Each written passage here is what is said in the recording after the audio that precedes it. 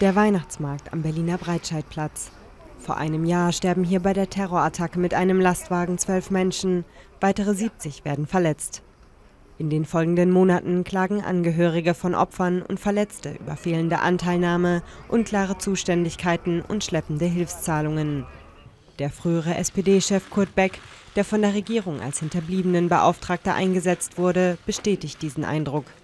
Ich äh, will auch daran erinnern, dass es unmittelbar nach dem Ereignis äh, Erfahrungen gegeben hat, die sich nicht wiederholen äh, dürfen.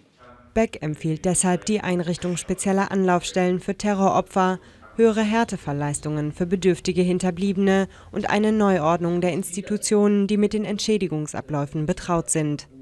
Justizminister Heiko Maas erklärt, die Bundesregierung wolle Becks Vorschläge zügig in Gesetzesform gießen.